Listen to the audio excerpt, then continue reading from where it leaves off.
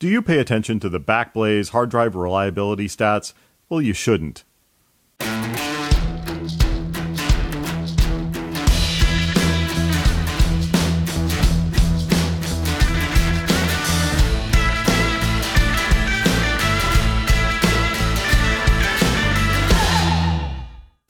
Welcome to Gadget Blues. This is KC, and today we are talking about Backblaze's regular releases of hard drive reliability data and why it's BS. Every year, Backblaze releases a bunch of data on hard drive reliability within their data center. Actually, they release this on a quarterly basis, but it gets reported most often with the annual releases. And I'm really surprised at the breadth to which this information travels. It doesn't just get discussed on sites like Storage Review and ServeTheHome and so forth. It goes all the way to more public venues like Reddit and so forth. And a lot of folks seem to base their hard drive buying decisions on this data. I think that the data is not a good way to make purchasing decisions. I'll tell you why. First off, a little background on Backblaze. They are a cloud backup provider for both individuals and businesses, and they have been somewhat shaking up the industry over the past few years in their democratization of storage by reducing the cost and doing some open source designs of data center hardware and so forth in order to fit the most cheap data into the smallest space at the lowest cost possible. If they were an airline, they would be Ryanair.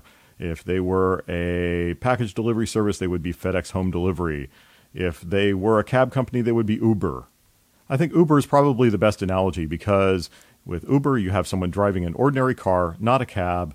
They are not a professional. They pick you up in their regular car and get you to your destination. And that is shaken up the cab industry, which is a good thing in the long run, but it also has some challenges in that those folks are not the professionals that you're used to in the cab industry. Now, I'm not dissing Backblaze as a company. I admire what they've done in innovation, both in engineering and in innovative thinking to bring the price of cloud storage down. I would just say one thing about dealing with them as a cloud storage provider is your philosophy should always be would I use the same sort of hardware as my cloud provider does in my own data center if I had one? And make your decisions based on that. But we aren't really here to talk about Backblaze as a cloud storage provider. We're here to talk about their hard drive reliability data. If we look at their hard drive reliability data, the latest annual report is 2016. We can see on their website that they have this big table of hard drive makes and models and drive failures and so forth. The first thing I noticed on this data is that the table on the website happens to be a JPEG, even though HTML handles data tables just fine.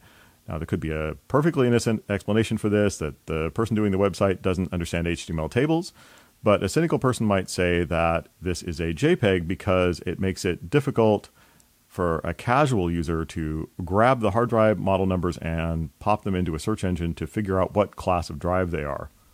Backblaze is completely open with all of this data. They give you a zip file of an XLS to download, but that is extra effort. Most people are just going to go to this page, read the data, and draw their conclusions for drive purchasing advice. The part of this data that really sticks in my craw is the hard drive failure rates by manufacturer. A lot of people will look at this, see these failure rates, and say, oh, I'm going to buy a Toshiba over a Western Digital or something like that. And that's BS. I'll get into that in just a second. But first, let me touch briefly on what the classes of hard drives are in the marketplace. Here's a quick overview of the classes of hard drives available. This excludes surveillance because I just don't want to get into that. So we've got desktop, which has low warranty, it's made for a single user, it's got unrated mean time between failure, and very low rating for terabytes written per year. It's also not even rated for 24 by 7 operation. This should never be used in a data center sort of environment. Then we have NAS 1 to 8 bay. This has a slightly longer warranty versus the two year typical of the 5400 RPM desktop. It is optimized for software RAID, has a better MTBF, and is rated for 24 by 7 a higher terabytes per year rating, and it doesn't have vibration tolerance. I'll get into that more in a minute. Then we have NAS in up to 16 bays. Those have a five year warranty.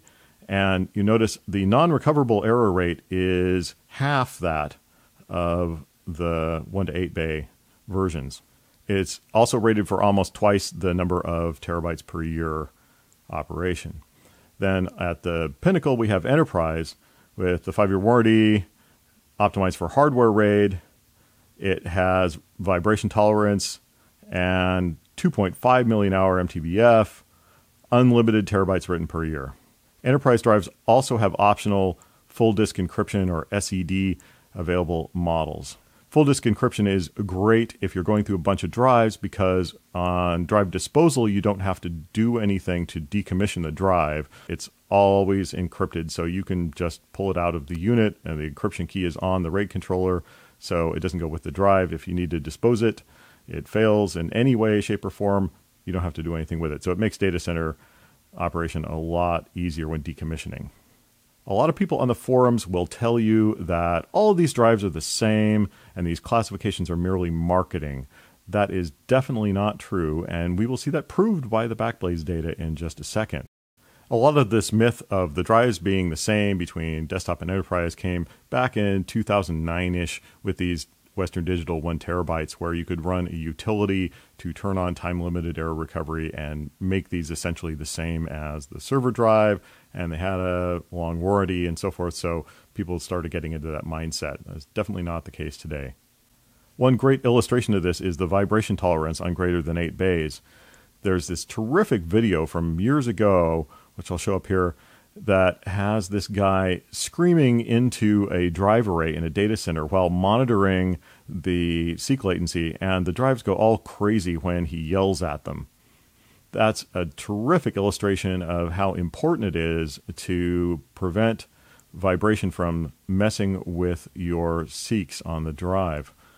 So here's the table I drew up of the Backblaze 2016 data adding these color classifications of the drive type.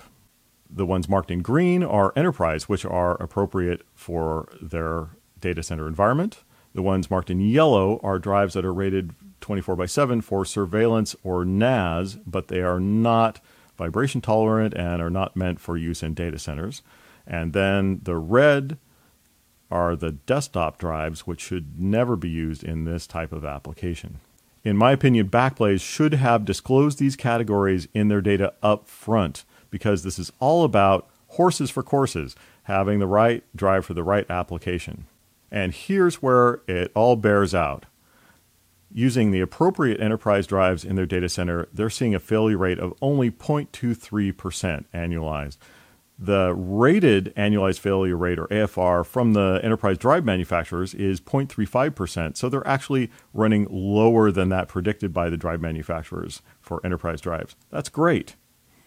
For the inappropriate NAS and surveillance type drives, it goes up to 2.63%, and for the completely inappropriate desktop drives, up to 3.33%. So if we boil that down to just all of the appropriate drives and all of the inappropriate drives, we see 0.23% versus 3.06%. That's actually 14 times the failure rate for the inappropriate drives. 14 times the failure rate. Let that sink in for a second. To better illustrate this, the total number of drive failures that Backblaze experienced in 2016 was 1,225 failures or 3.36 per day. If they had used all enterprise class drives, they would have experienced only 163 drive failures in 2016. I mentioned that Backblaze had open sourced their storage pod design, and there are a couple of major manufacturers for those. The one that's probably best known is 45drives.com, which is not affiliated with Backblaze, but they were their primary supplier of storage pods up through the version 4.0 pod. And ironically, on 45drives.com's FAQ about what hard drive should I use, they point out the difference between enterprise and consumer class drives, noting consumer drives can and will get the job done, but will fail more often than enterprise drives and cause unnecessary server downtime slash extra work. using enterprise drives in your Storinator allows it to just work all day and all year long. The whole point of Backblaze business model, of course, is to get the most storage for the lowest cost. And that's all a big equation of the hard drive cost and the pod cost and what they're charging end users and what it costs to replace failed units and so on and so forth. We don't have any fully burdened cost data from Backblaze on what it costs them to replace a failed drive. There's always a chance of data loss no matter how secure you think your RAID array is.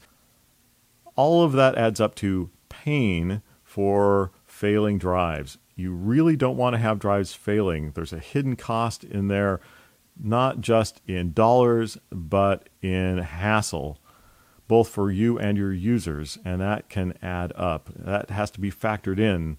We don't have all this cost analysis from Backblaze on is it actually cheaper to have a bunch of inappropriate drives that fail all the time or to pay more for enterprise drives? They haven't addressed that question. They're just throwing this data out and, in my opinion, inappropriately saying that one manufacturer has a higher failure rate than another, where really it is all of the manufacturers that are supplying enterprise drives have a low failure rate, and all the manufacturers that supply desktop drives or inappropriate drives have a higher failure rate.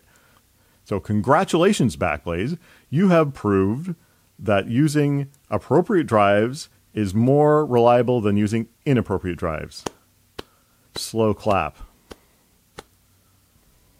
But Backblaze has also proven that this myth of all drives being the same except for marketing purposes is incorrect also because if they were all the same then the failure rate would be about the same by drive class. It's not. It's 14 times lower failure rate on the appropriate drives so at this point you're saying hey KC if I can't use the Backblaze data to choose a hard drive model or manufacturer, what should I do to choose a hard drive?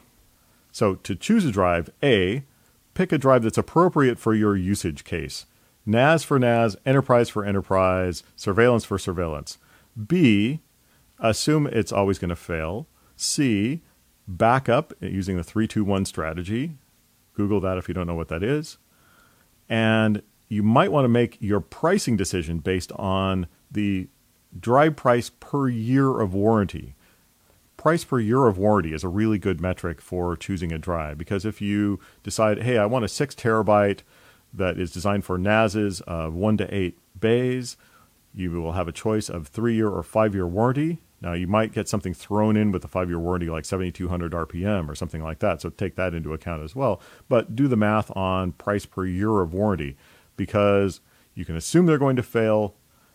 After you go out of warranty, you aren't going to get a replacement for free.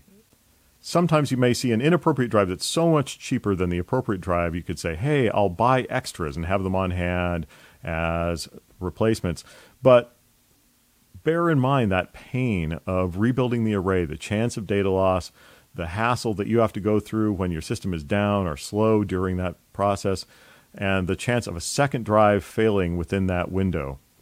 That's why I recommend that previously mentioned 321 backup strategy using RAID 6 on the primary array if you care about uptime and that possibility of two drive failure, especially if you're buying the drives together in a batch, all with its same date stamp, you may have two fail at about the same time. Often, when building a system, I will stagger my drive orders from different vendors to try to get ones from different batches so they don't have the chance of failing at the same time.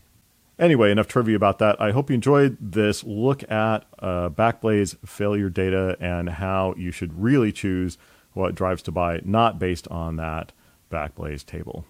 So thanks for watching. Please like and subscribe and comment, and we will see you in the next Gadget Blues.